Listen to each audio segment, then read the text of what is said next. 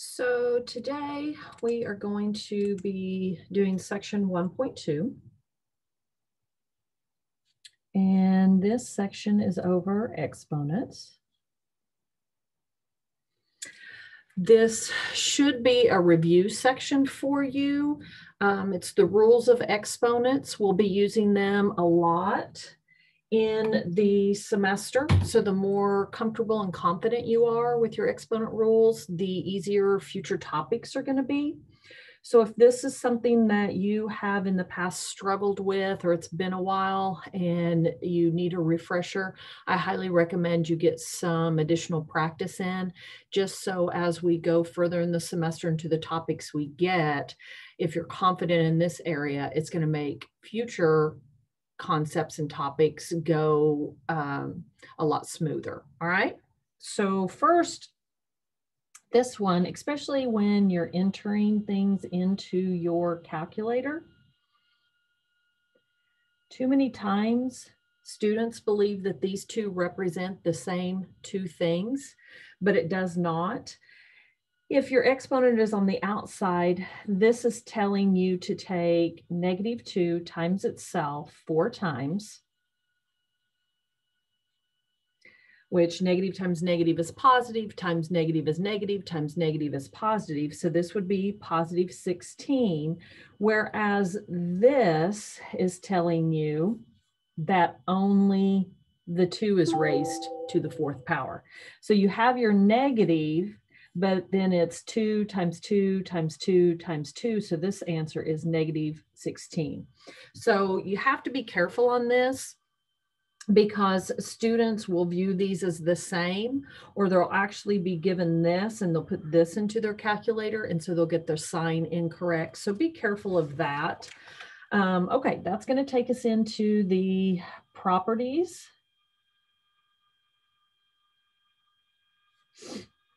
Of exponents.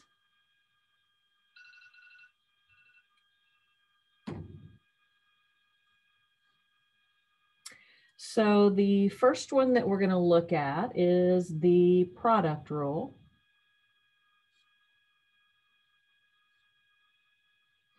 which is x raised to the m power times x raised to the n power so as long as they have the same base, this rule does not apply if your base is different. So if this was x to the m times a to the n, this would not apply.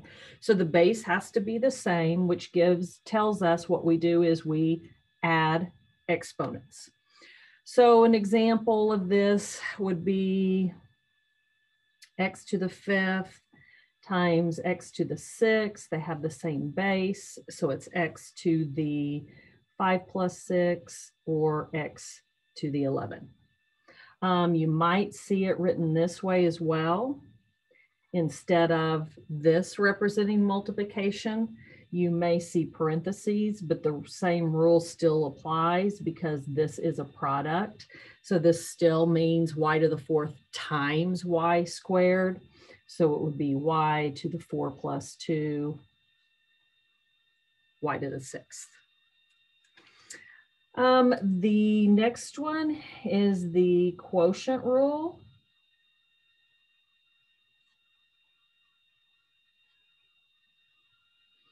And this rule states that x over m, or x to the m power over x to the n power. If m, the exponent on top, is bigger than the exponent on the bottom, then you have x to the m minus n. If the exponent on the bottom is greater than the exponent on the top, then you have 1 over x to the n minus m. So in essence, whichever exponent is larger, then that is what goes first. And so since this was on top, everything moves to the top. This was on bottom, it moves to the bottom. Um, so some examples, you could have x to the sixth over x squared. The exponent on top is larger, so that would give you x to the 6 minus 2 or x to the fourth. If it was x squared over x to the sixth, now the exponent on in the denominator is larger, so you have x to the 6 minus 2, so you have 1 over x to the fourth. And these two are completely different answers. So you have to be extremely careful on this. All right, so then the third one is when we have a negative, whoops, didn't want that a two, that's supposed to be an n, sorry about that. Let me just rewrite it. x to the negative n, all right in essence, when you have a negative exponent, if it's in the numerator, move that whole term to the denominator and that exponent becomes positive or vice versa. If it's on the bottom, move it to the top. So if you have something such as this, you can think of this as a fraction as all being over one. So it would become one over x to the n. This was in the numerator. You bring it down to the denominator and now the exponent is positive.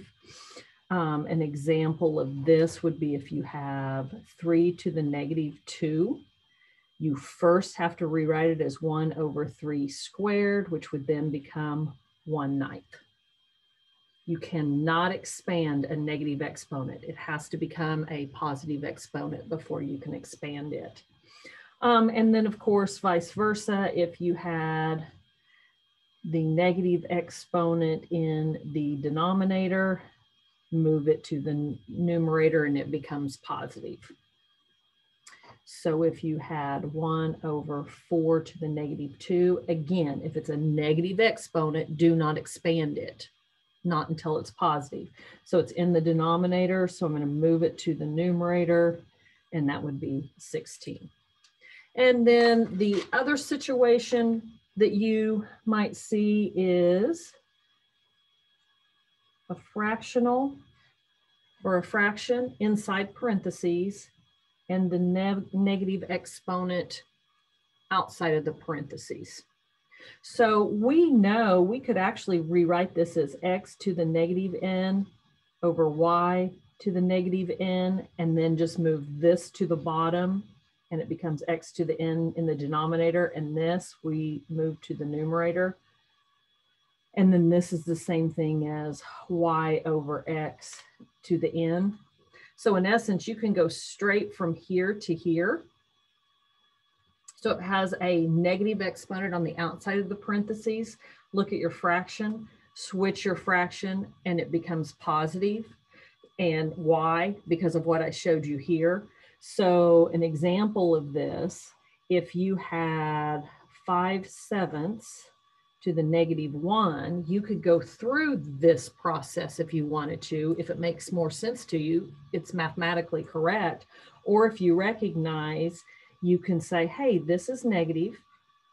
I can make that positive as long as I flip this. And so it would be 7 fifths.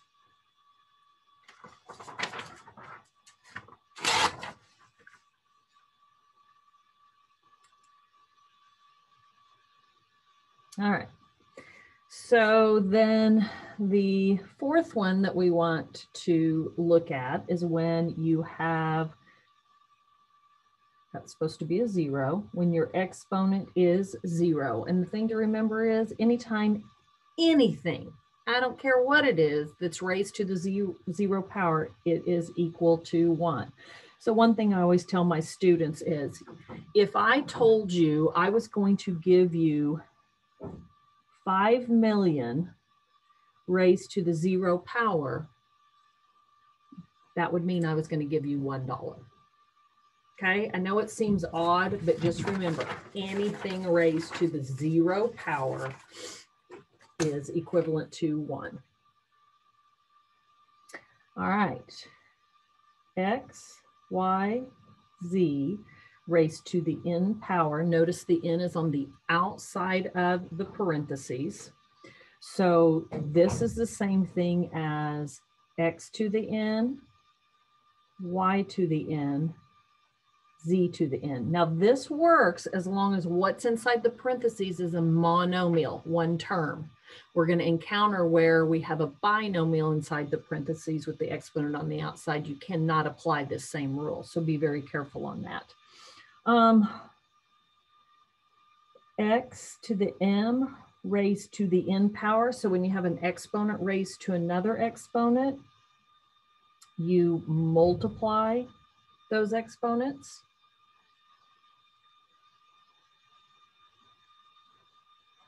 And I referred to this a little bit on the previous page. When you have this, this is the same thing as x to the n over y to the n. All right, so some possible examples.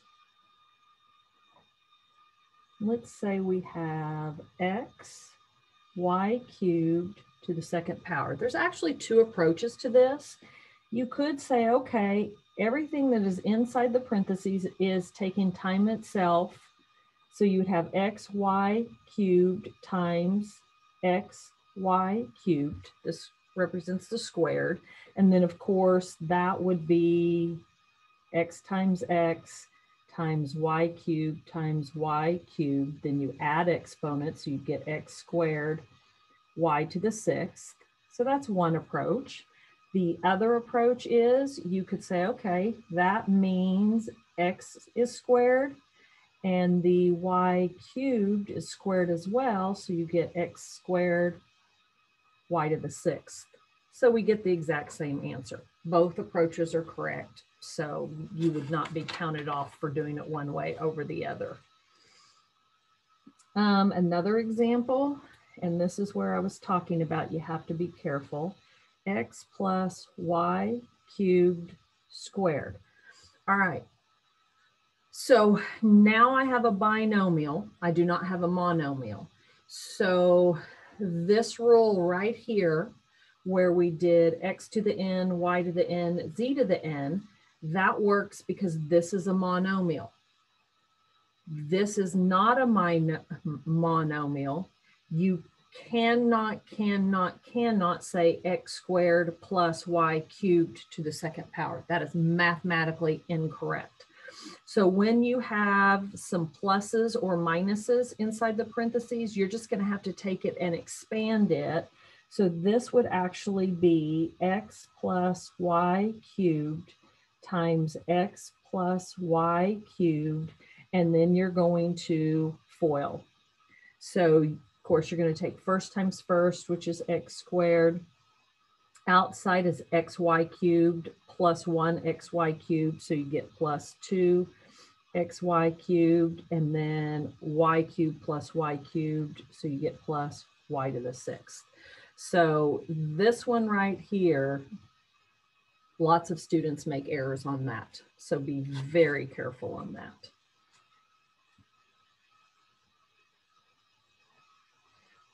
All right.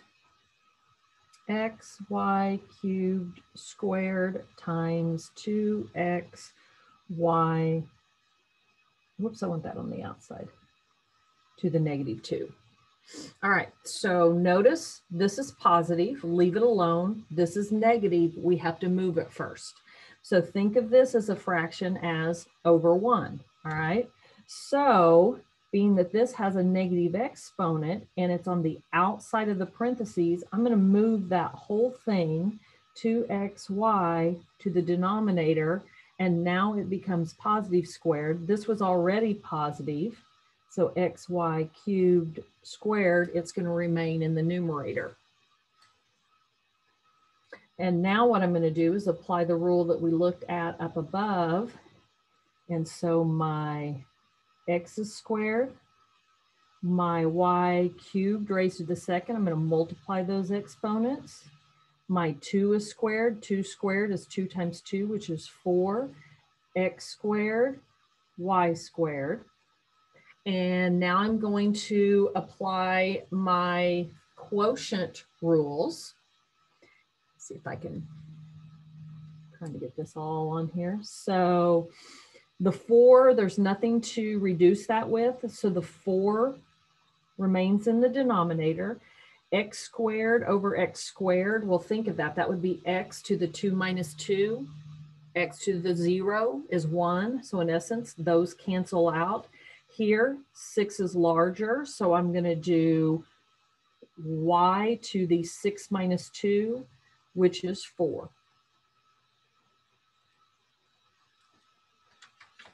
All right. One more example. All right, 5a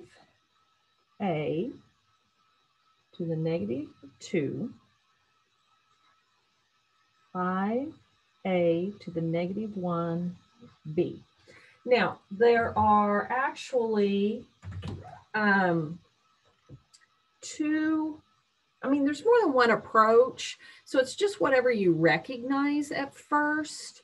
Um, you could go ahead and move all of this to the denominator and then be sure and move that to the denominator as well. Um, I might have another student that goes, well, that's 5 to the negative 2, a to the negative 2 times 5 times a to the negative 1 times b. And then from here go, okay, anything that's positive exponent, I'm going to put on top. Anything that is negative exponent, I'm going to move to the bottom and it will become positive. And then it is recognizing, okay, so I have 5b. 5 squared is 25. Here I have the same base. So I'm going to add exponents. And then it's just a matter of reducing this. So you get b over 5a cubed. Again, like I said, it is a matter of getting very confident and familiar with those exponent rules the more confident and familiar you are, then you're going to see those things and they're going to come pretty easily. And how do you get better at something? Practice. Even if you don't like something and you're not confident in it, you're not going to get better at it unless you practice. Okay, how to handle, and we do this a lot throughout the semester. Rational, which means they're, we're dealing with fractions, exponents. This, well, none of these go away, but as we progress into the semester, we deal a lot with fractional exponents and you are going to have to know how to handle them. Okay, so this tells me that if I have x raised to the m over n, that is the same thing as the bottom number tells you your root of converting it into a radical. The top or the numerator stays with that base. Get that memorized. It is used a lot past this chapter. So if we have the square root of x, now notice I don't have anything here, but I don't know if you heard what I said, the square root. So if there's nothing there, it is understood that it is to the second root. If I don't have an exponent here, it's understood to be one. So I could write this with a fractional exponent as one half. Whatever is with the base always goes to the numerator.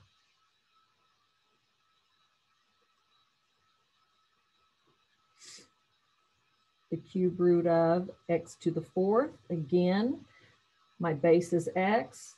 This is your numerator. Your root is your denominator.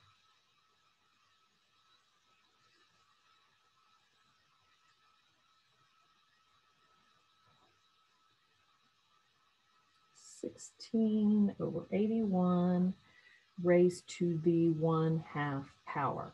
Now, you need to get memorized is if it's raised to the half power, that is the same thing as taking its square root. So this is like 16 to the 1 half over 81 to the 1 half because this is on the outside of the parentheses. This is the same thing as the square root. So this simplifies to 4 over 9.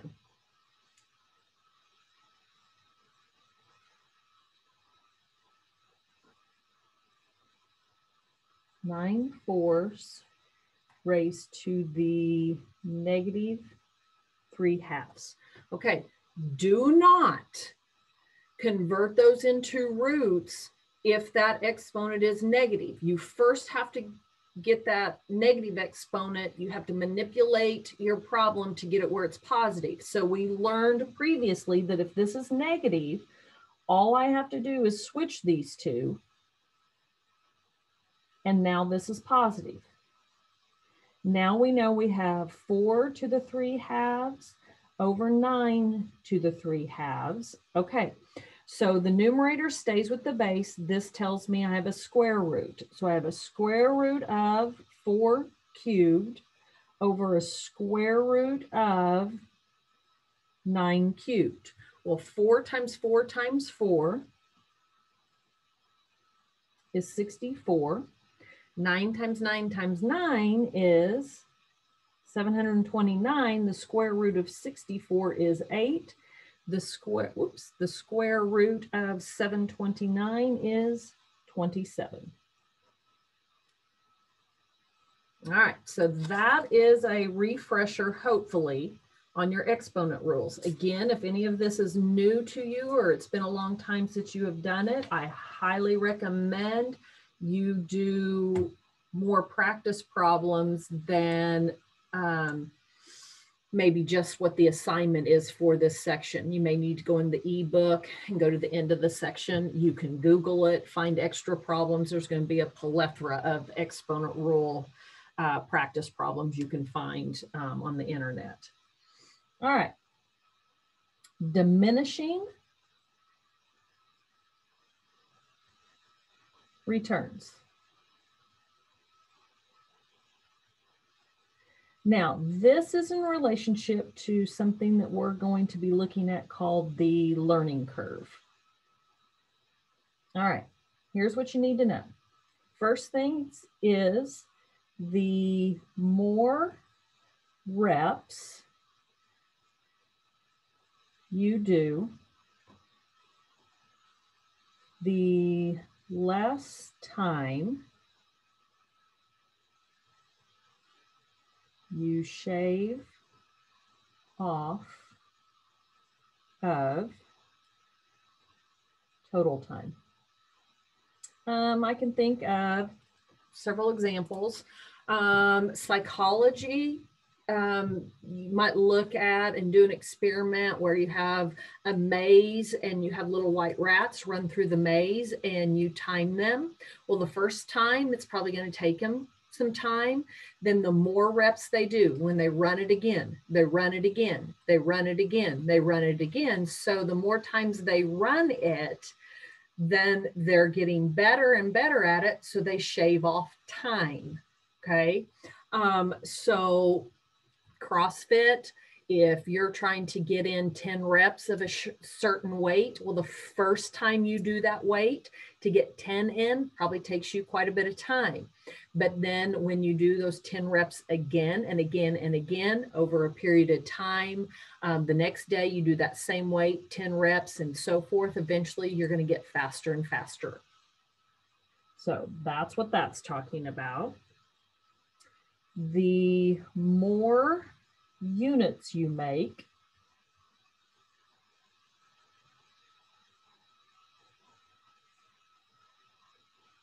the less it cost you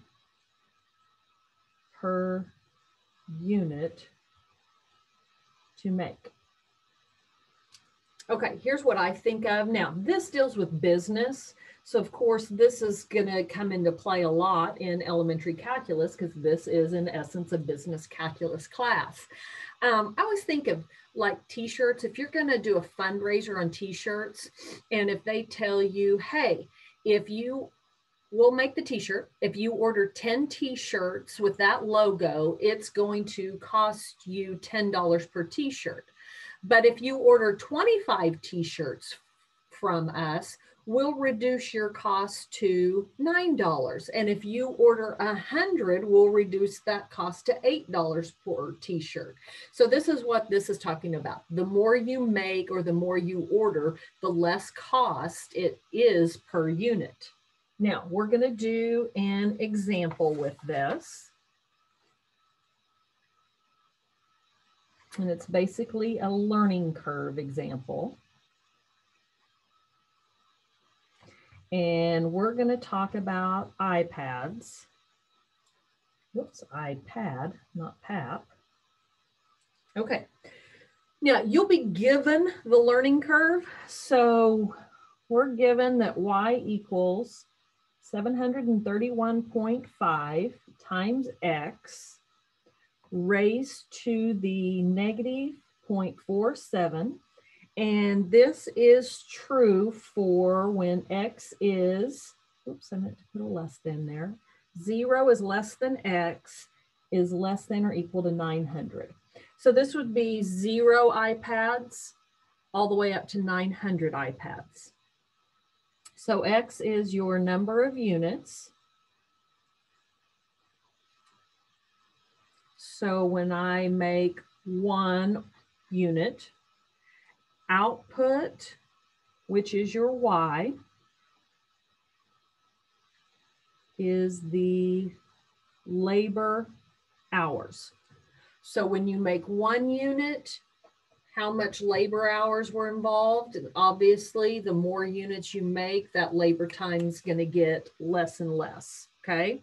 So what I want to do first is show you what this looks like on a graph and why it's called a learning curve. So here's Desmos, um, desmos.com. This is great. I use it a lot. Um, okay, so y equals 731.5x. And I'm going to raise that to the negative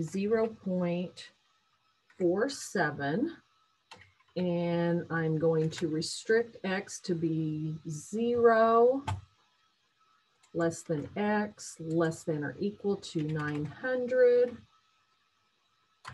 Now, what I wanted to show you something, and I didn't have this completely, whoops, went the wrong way. Okay, when you first go into Desmos,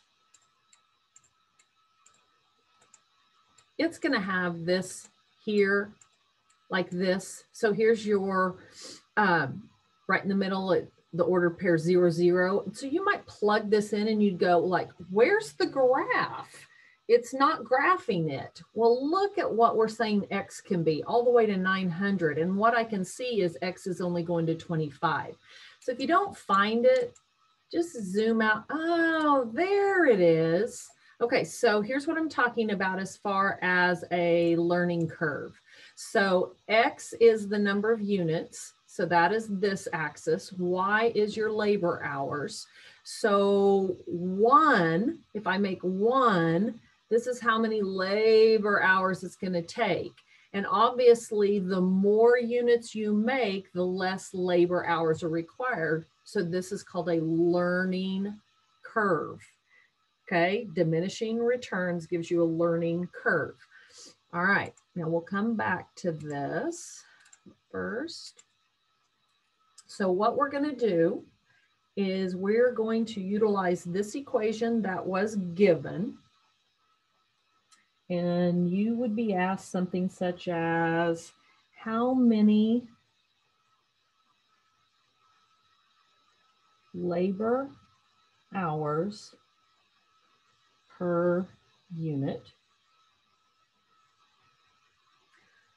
So um, we could look at, okay, the number of iPads,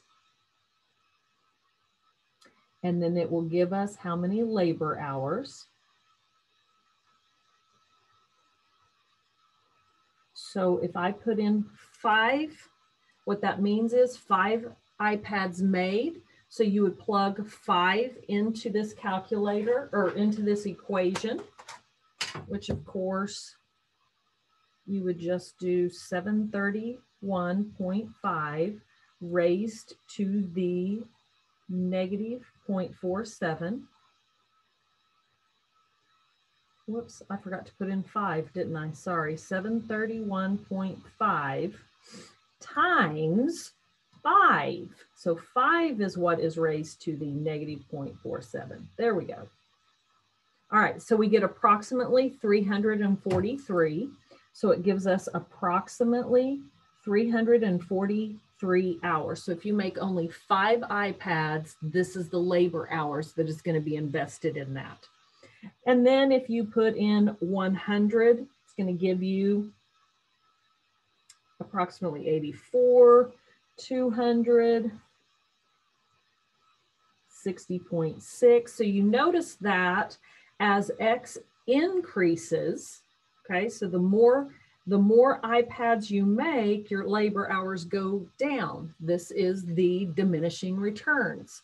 So what I'm going to do is show you on Desmos, I'm going to enter those ordered pairs. So the first one was five iPads, approximately 343 hours. And if you'll notice, right there it is on the graph. Then the next one was 100 iPads, um, 84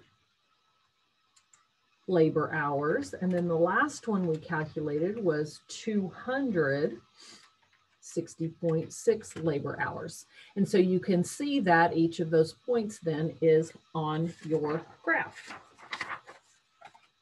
All right. One last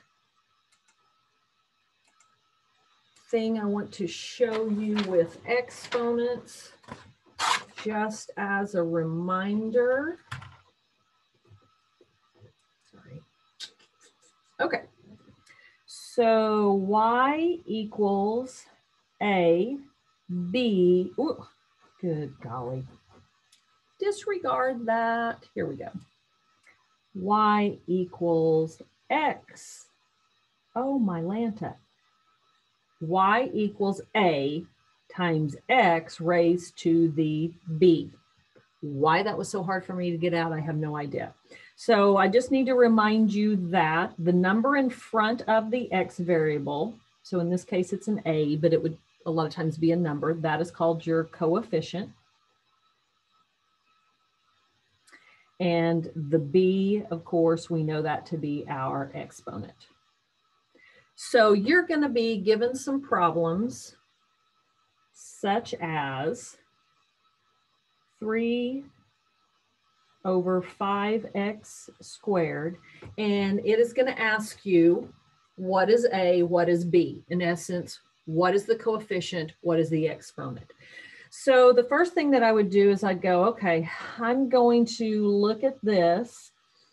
Um, there's a couple different ways you could look at it. It is the same thing as 3 fifths times 1 over x squared, which is the same thing as 3 fifths times x to the negative 2 which you don't need this times. In essence, that would just be 3 fifths x to the negative 2. So your coefficient is 3 fifths.